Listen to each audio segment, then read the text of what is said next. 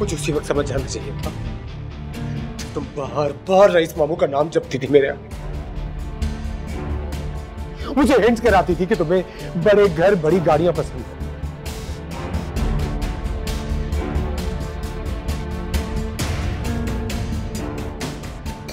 उसकी दौलत देखे तुम्हारी आँखें चुंजा गई ना। Tayyaba you you cheated me तुमने भी शॉर्टकट इस्तेमाल किया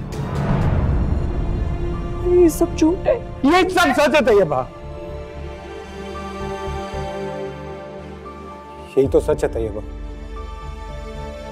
ये इतना कड़वा सच है कि मेरा पूरा हलक कड़वा हो गया। मेरा पूरा वजूद लहूलहान हो गया। तू मेरी एक दफ़ा बात सुनने की तो कोशिश करो रियान ये सारा कुछ मुझ पे इल्ज़ाम है मैं ऐसा कुछ नहीं कर सकती मैं वफादार हूँ मैं बाकिरदार हूँ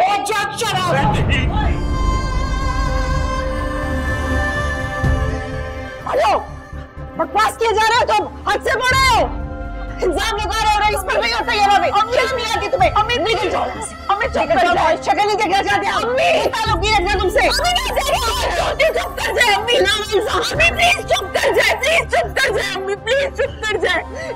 इसको यहाँ से ये ये मेरा और रियान का मामला है ना हम हम हम इसको सुलझा लेंगे। मेरा तुमसे कोई रिश्ता नहीं है तैयबा। सुन रहे हो क्या कह रहा हूँ? नहीं नहीं नहीं नहीं नहीं रियान तुम तुम मुझे मारना चाहते हो ना? मारो मुझे मारो मुझे।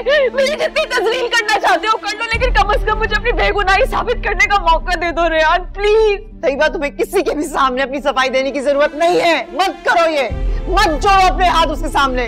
ऐसा कुछ नहीं है सब कुछ इल्ज़ाम है, सब कुछ झूठ है। तैयबा मैं तुमसे यहाँ कोई निगोशिएशन करने के लिए नहीं आया हूँ। अगर थोड़ी देर भी मैं यहाँ से खड़ा हूँ तो सिर्फ़ इस वजह से कि तुम्हें इतना बता सकूँ कि तुम्हारा मकरू चेहरा मेरे सामने फाश हो गया है।